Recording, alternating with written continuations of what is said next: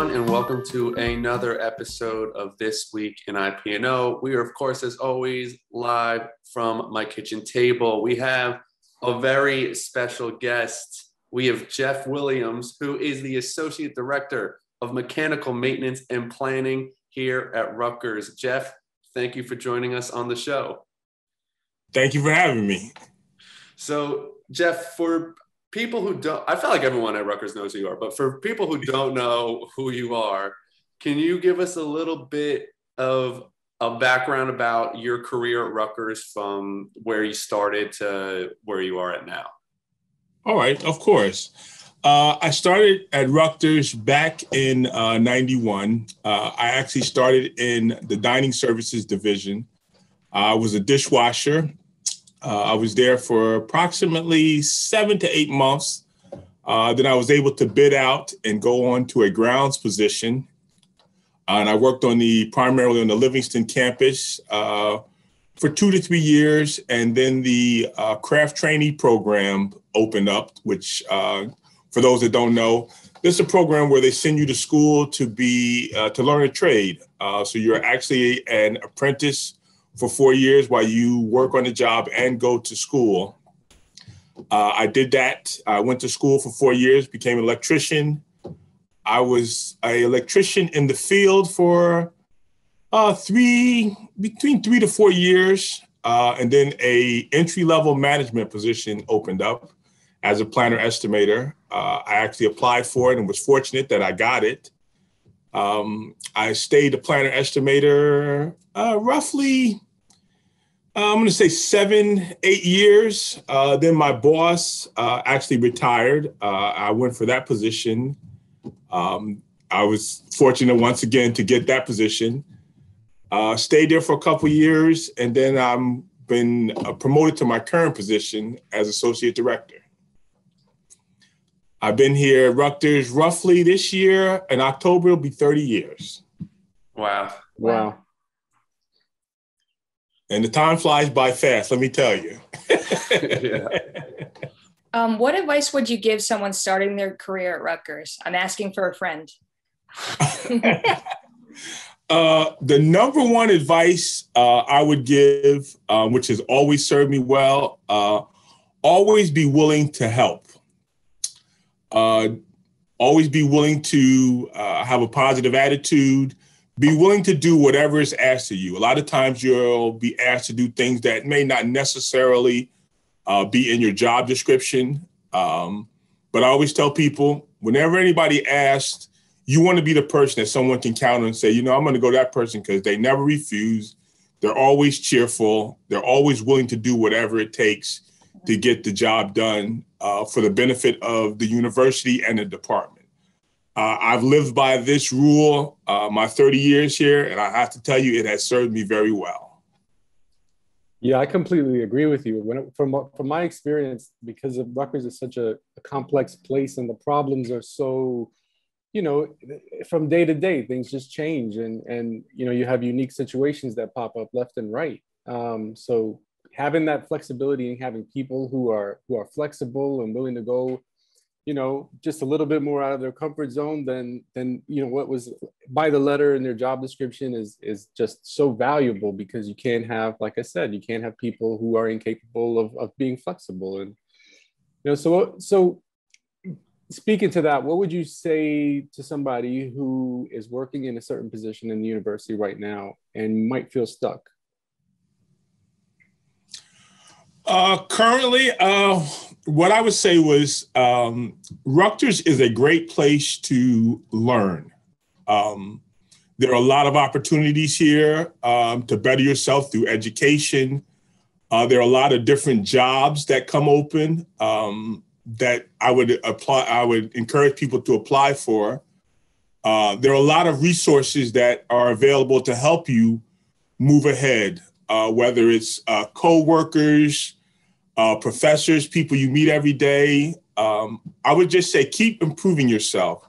Definitely take advantage of whatever educational opportunities are here, whether you go back to school, whether you take a continuing education class, whether you just reach out to other employees. If you see somebody doing something that maybe you'd like to do, um, just reach out and talk to them. Most people, like I said, are very helpful. Uh, that's what I did uh, when I was on grounds. I worked a lot of times with the electricians um, because they would do a lot of the sound systems and setups for special events and speeches and stuff. And I would be the person that would deliver the equipment, the electrical equipment and podiums. And I would just get to talk to them about their job and what they liked and, you know, how could I get into it. Um, and like I said, people were just helpful. They, they told me the path to go to. So that's one of the things I would say to, to people, just keep improving yourself, reach out, take advantage of all opportunities that we have here. And there are numerous opportunities here at the university to improve yourself. Yeah, I love that you mentioned just apply first, right? Like that. Yeah. So, oh, yes. Big, just apply. You, it doesn't hurt. It doesn't hurt you or harm you. If anything, it, it signals that that you want to take on more responsibility. That you're looking for something um, that's outside of the current role. So those are all positive things. So and, and a lot of times I say that because a lot of times people want to apply, but they're they have this self doubt. So they're saying, well, you know, I don't know if I'm right for that or if I'm qualified. And I always tell people, hey, put in for it. You know, um, you may get it, you may not. You never know. Um, if you get it, people are not here to make sure that you fail. Everyone here is to make sure you succeed. So I always tell people, don't be afraid to apply for a job. Always apply for a job, even if you think you're not qualified, if it's something you want to do. You know, that's the first step.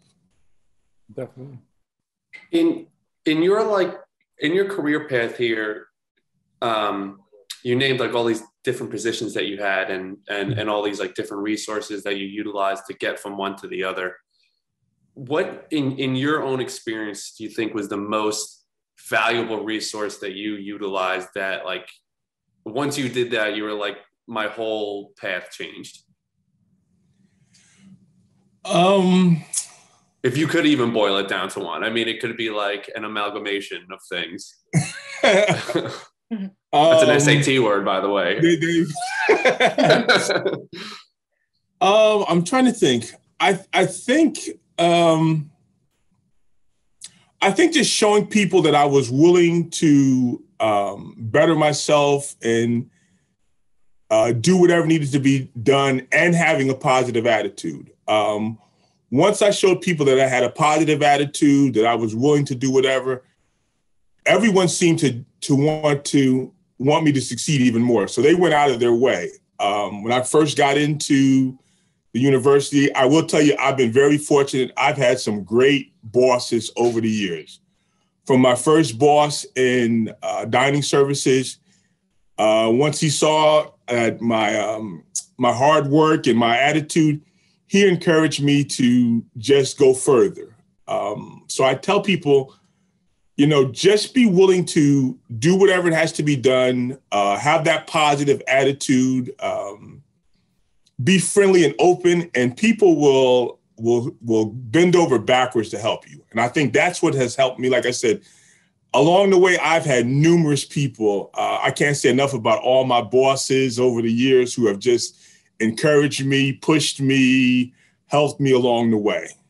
Yeah, I feel like uh, I feel like people people kind of discount all like the help that they can receive and feel like they need to like do everything themselves when like it's like 80% is is showing up and and and making like making the right connections you know that's definitely that's definite yeah, yeah and I, I, think a lot of it is getting the word out as to what those resources are. So so that's what we're trying to do at this point with with myPath. Um, just trying to get people to be more aware of the help that's available to them what programs are available to them. There's there's some things that are already online. There's some things that are going to be coming online soon. So that's all going to assist in in that uh, communication process. Mm-hmm. well i think that uh, covers it for us, unless uh, Richard Brittany, I don't know if you had any other questions. Um, but if not, then uh, Jeff, thanks for uh, thanks for coming on and for telling us a little bit about your story and about uh, about your path. Not just my path; it's your path. so, uh, so yeah, go ahead thank you for having me. Uh, uh, I'll say this to anybody: if anybody want, needs to know anything, or is there any way I can help anybody, if they like to know about the craft trainee program, my door is always open. I have an open door policy. Um, you don't need to make an appointment. I just say, just call me to make sure I'm going to be here because I'm out in the field a lot. But I'm here to help anybody. Uh, I'm here to give my knowledge and whatever I can do to help someone improve themselves. All right. Well, awesome. thanks for coming on and uh, reach out to Jeff if, if, you, uh, if you have those questions. There you All go. Right. Thanks, Jeff.